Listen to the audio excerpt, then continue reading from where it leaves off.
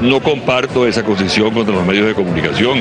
Si hay una movilización y esa movilización es pública, los medios de comunicación deben registrarla.